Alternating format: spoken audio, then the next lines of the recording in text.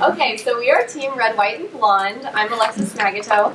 I'm Jess Allison. And I'm Hannah Dearbaum. And we will be taking you through Jason's journey. So imagine you are a brand new clinician beginning your clinical fellowship year at St. Nick's Memorial Hospital, a hospital focusing on brain injury rehabilitation. Within your first few hours on the job, you receive a new client on your caseload, Jason. While looking through his file, two things jump out at you right away. One, he is your age, and two, he has just been involved in an accident that will most likely change the entire course of his life. It is your responsibility to ensure that he has everything to maintain a successful recovery process. But where do you begin? So the first thing you want to do is take a look, take a look through the case history in order to get to know your client a little better. So Jason is a 25-year-old male who was involved in a traumatic brain injury after sustaining a fall while working for his commercial roofing company. So after receiving his TBI, and Hannah will later go on to explain the neurology of traumatic brain injuries, he was transferred to a nearby hospital where he was immediately intubated and immobilized until spinal stability was established. In addition to his TBI, he received significant shoulder injuries. While at the prior facility, he was given two scales to assess his current level of functioning, the Rancho Los Amigos scale and the Glasgow Coma score. And 10 days following his injury, he was transferred to your hospital, where he arrived on your caseload. So in terms of his Glasgow Coma score, he was at a total of six, indicating he's currently at a comatose level. He demonstrated an eye-open response only to pain. He has no verbal response, and he has an abnormal flexion response, so he's very stiff, rigid posture. In terms of his Rancho level, he's at a 3, indicating he has a localized response. This means that he is able to respond to certain stimuli, but his responses are very variable and also delayed. And in order to give you a better idea of Jason's current level of functioning, we have a video to demonstrate.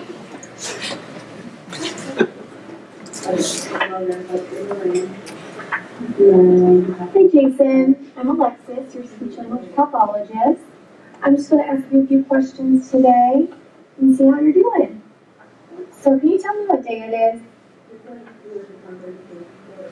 Alright, it's currently October 14th, 2016. And do you know where you're at right now? You are currently at St. Nick's Hospital. Great, so I'm going to do a couple tests just to check your reflexes, okay? So the first thing I'm going to do.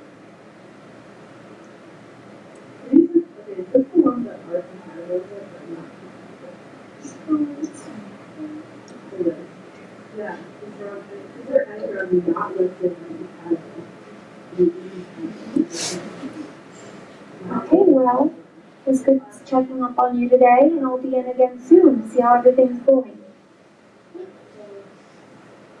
So as you can see in the video, Jason has no response to any kind of verbal prompts that the clinician is offering him. He is unable to respond. However, he does open his eyes in response to pain. So when the clinician digs her fingernail into his nail bed gently, we don't want to injure him any more than he's already been injured. he opened his eyes. Also, he has a stiff, rigid posture. As Alexis said earlier, he did sustain severe brain damage after falling off a roof at work. He sustained damage to three main areas of his brain. The first being his cerebellum, which is the picture on your left. This area's main function is to maintain equilibrium as well as help coordinate skilled motor activity. Due to Jason currently being immobilized for spinal stability, we're unsure how this is affecting his movement patterns, both physically and in relation to speech. So we will have to get a better idea of this as he increases and is, being, and is more stable. The second area are the lateral ventricles in his brain. Your ventricular system is a system of spaces that are filled with cerebrospinal fluid that serve as a protection mechanism for your brain against trauma. When Jason fell, his brain lost the ability to drain any excess fluid that may fill these spaces, causing them to enlarge.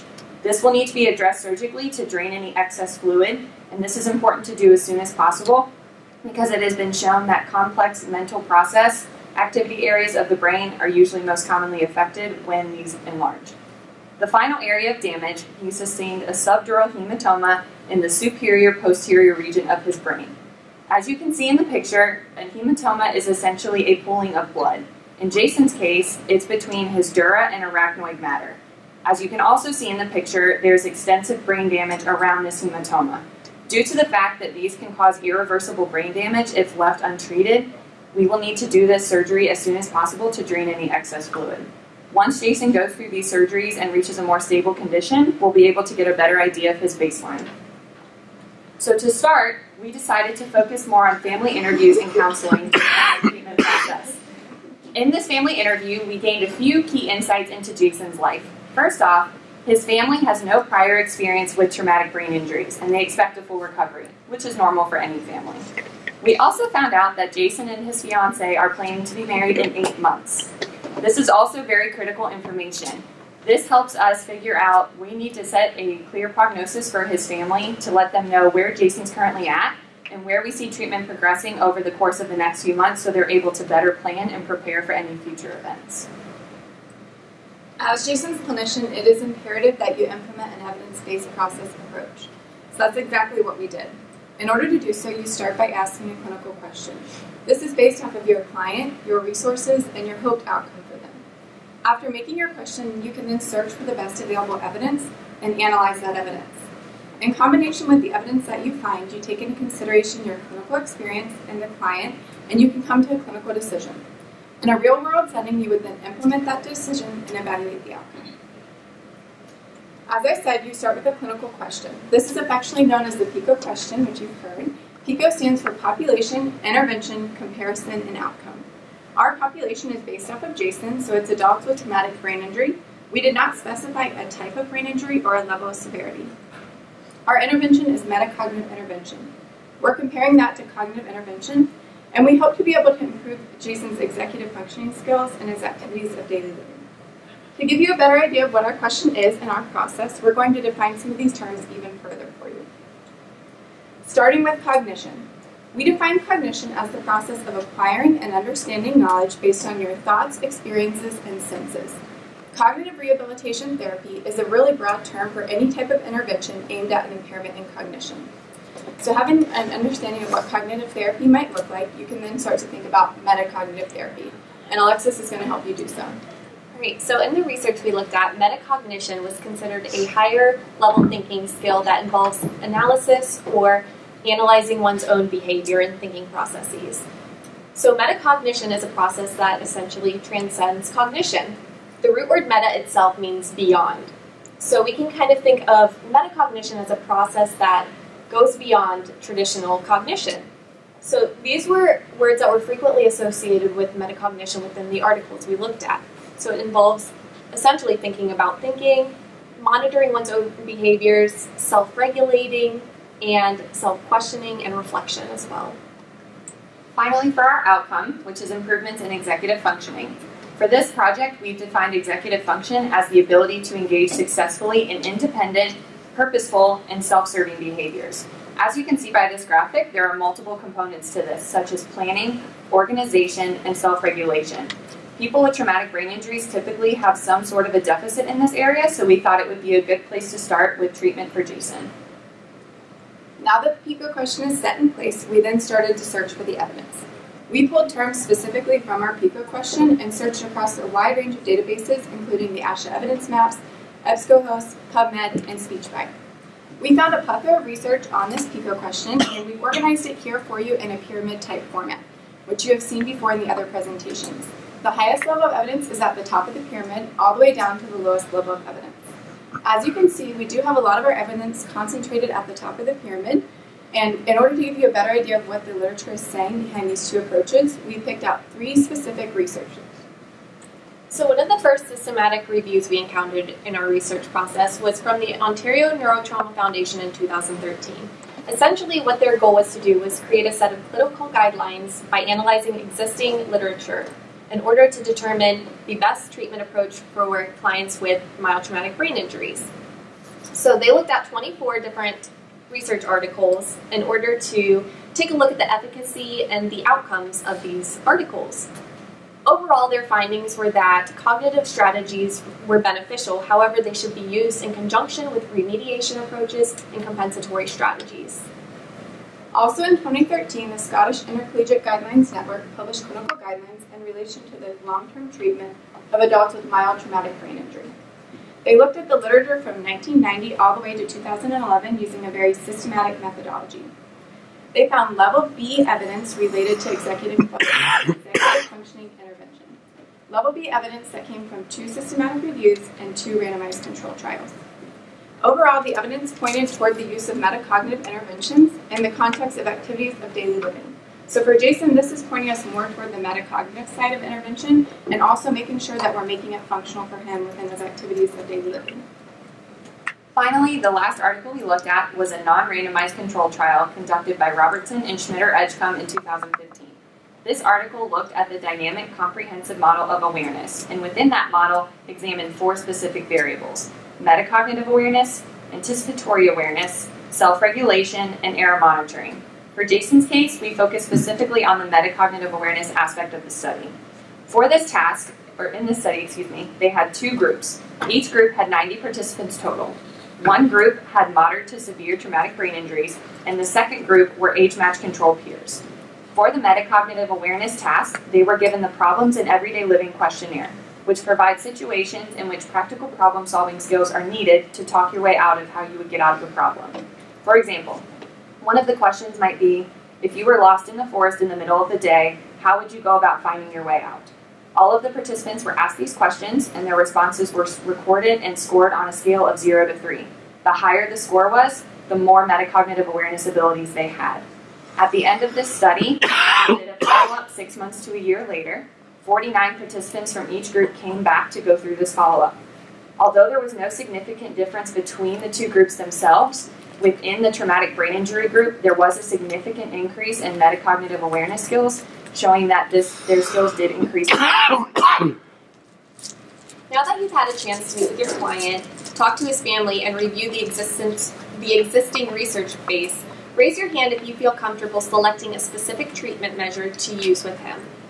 Keep in mind that your first treatment session begins tomorrow morning. so for those of you who did not raise your hand, we feel the same way. We were able to find quite a bit of extensive research that supports using metacognitive strategies for individuals with TBI. However, a lot of our research recommended using cognitive strategies in combination with metacog in order to yield the best effects. Essentially, cognition and metacognition go hand in hand you can't have metacognition without cognition itself.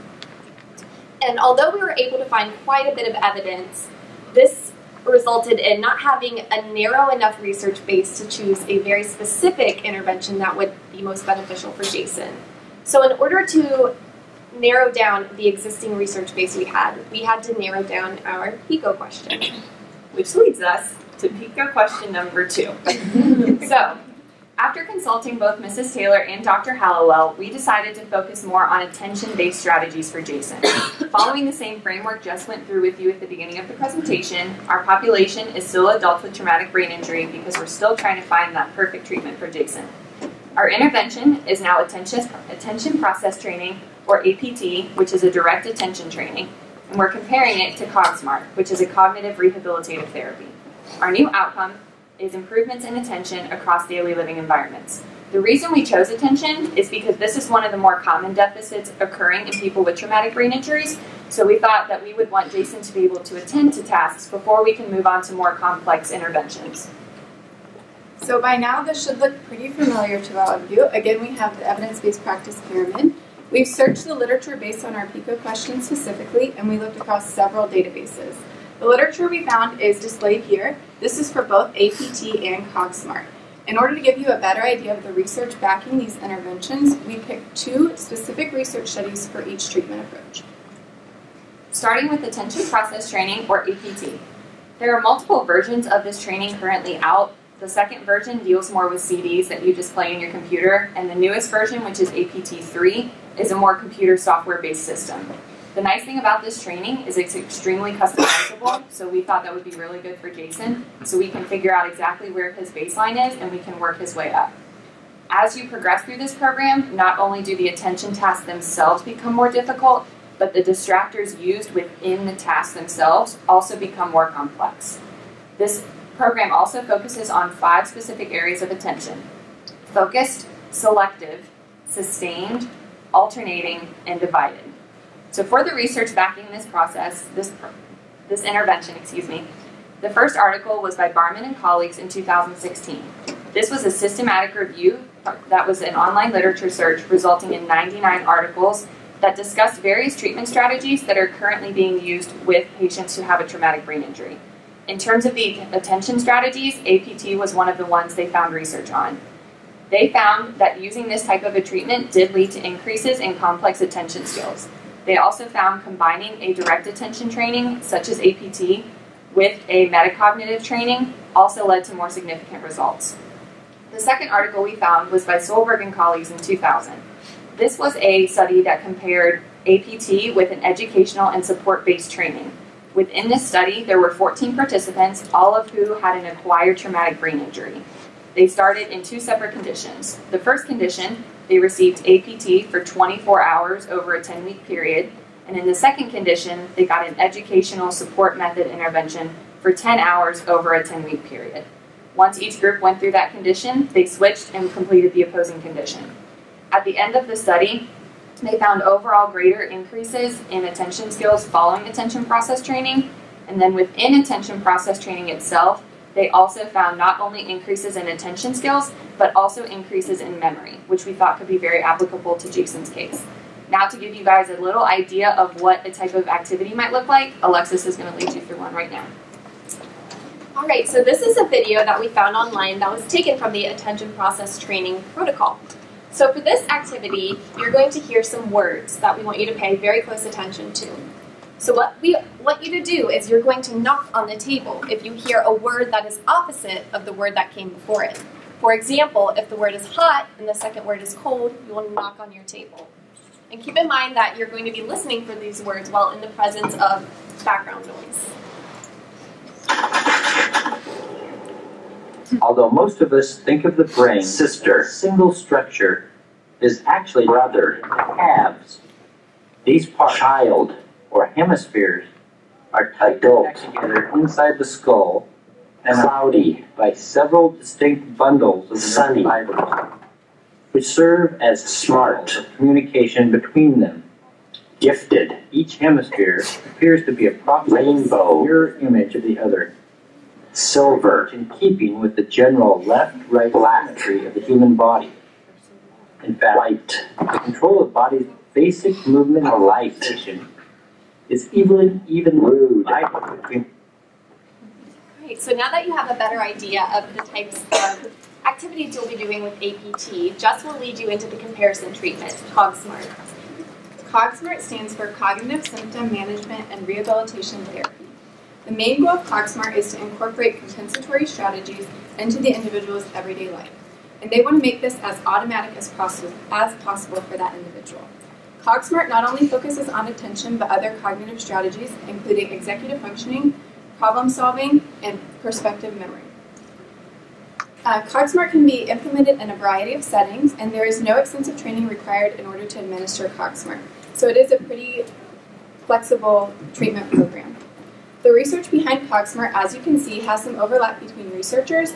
In addition, Dr. Elizabeth Twamley is the developer of CogSmart, so we took this into consideration when analyzing this evidence. In 2014, Co- Twamley and her colleagues looked at CogSmart in the context of enhanced supported employment. They looked at veterans as the population, there were 50 individuals included. Their measure of attention was the Wechsler Adult Intelligence Scale, third edition. They found that there was a decrease in post concussive symptoms, which could be physical, cognitive, or emotional in, in variety, and they also found that the individuals who received CogSmart training perceived it as helpful. In 2015, Twamley and her colleagues were again looking at the same intervention in the same population in the context of enhanced supported employment. This time they looked at the effects over a year time span, so they took measurements at 6 months and 12 months post intervention.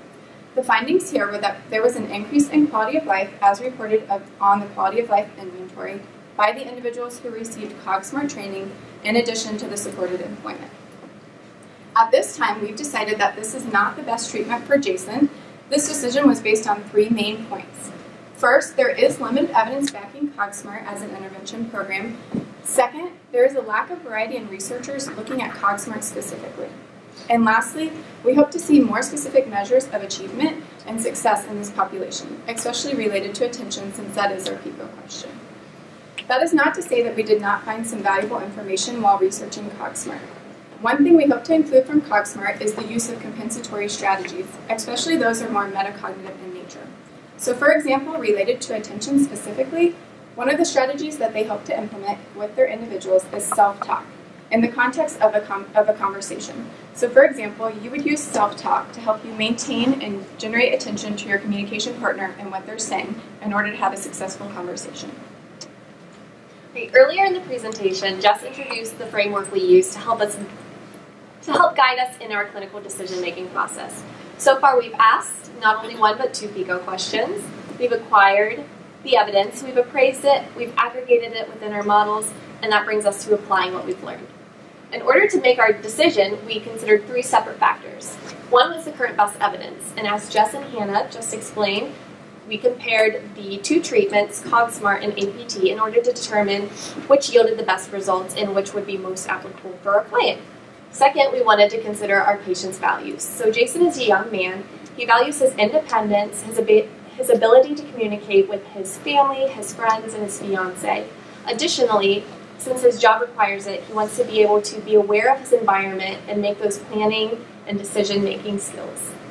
Lastly, we took into consideration clinical expertise. Although we don't have a huge population of clients with traumatic brain injuries within our own clinic, we were able to discuss with Mrs. Taylor and Dr. Hallowell what they might do in this situation and what they've done in the past in order to give us more experience with the clinical aspect of treatment. In summary, our clinical decision has three main components. First, we do plan to implement attention process training. In addition to that, however, we feel it's important to implement some metacognitive strategies for Jason, specifically self-talk, self-evaluation, and self-awareness. Lastly, based on our first round of evidence, we do feel that we need to address the psychosocial component for Jason to provide a more holistic treatment approach. This would include brain education and social support specifically. Lastly, as we were looking through our research, we did find some areas that we hope to see improved in the future. Specifically, in regards to limitations, we didn't find that a lot of the articles talked about generalization to ADLs outside of the context of the treatment. So they looked more specifically how they progressed through the treatment and not so much how it carried over to other situations. We also want to see some more research addressing more severe cases, although, especially in Jason's case, since he is essentially comatose right now, we wouldn't necessarily begin treatment right away, but we do want to see as he progresses a little bit if there are any treatments proven to be beneficial that you can start at a more severe level. We also would like to see some more research that compares more specific treatments. Although CogSmart did look at that compared to enhanced supported employment, we would like to see some more treatment that, or some more research that compares specific treatments such as APT versus CogSmart. We would also like to see a more variety in researchers. As Jess stated, the developer of CogSmart has done the, the majority of the research, but not only this, but with other treatments, just because that gives you a different view of how these treatments could potentially be used for your clients in clinical settings. For the first of our thank yous, we would like to present the Oscar for Best Leading Actor to Tyler Roman. We appreciate you um, being our persona of Jason for this project. It helped make it a little more personal for us and get a little more connected with our client. So thank you for that. and finally, we would like to thank Dr. Hallowell and Mrs. Taylor for your guidance throughout this process. We know you guys are extremely busy, but we really appreciate you taking time out of those crazy schedules to help us us and provide us with your wealth of knowledge on this topic to help us make the best clinical decision for Jason.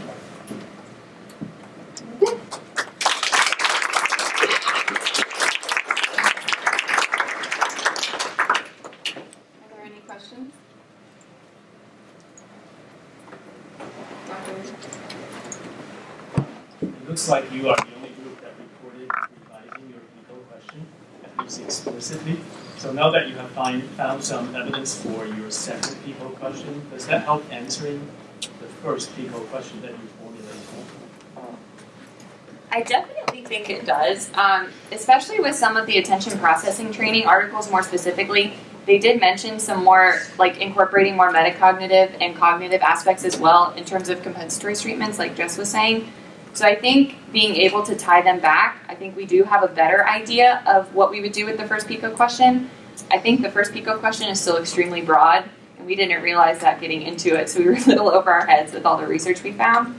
Um, but I definitely think narrowing in on a more specific area of intervention helped us figure out how we could further tie in those metacognitive and cognitive interventions to something specific.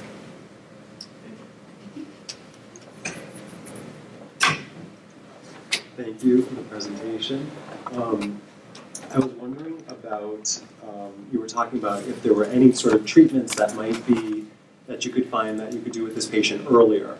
Um, and so I was wondering if you had run across anything around coma stimulation type programs and if that was a consideration. Um, and then I was waiting, I wanted to see a video of um, Tyler at RLA4. It was really Oh, sorry. sorry. um, so just wondering about coma stimulation, and then when do you think you would start um, something like APT in terms of the RLA level? We did not find any information on co-simulation that I recall. As Hannah mentioned, we did find a broad range of evidence, so it could have been in some of the systematic reviews that we reviewed, um, but I don't remember specifically running across that. None of them talked about it specifically now. Um, after talking to Dr. Howell, we have thought about at what level we would be implementing treatment for Jason, and that would really depend on he needs to be able to attend to our task, and that's kind of what we're pushing for at this point. But looking more at level five and six for Jason to begin treatment. Any other questions?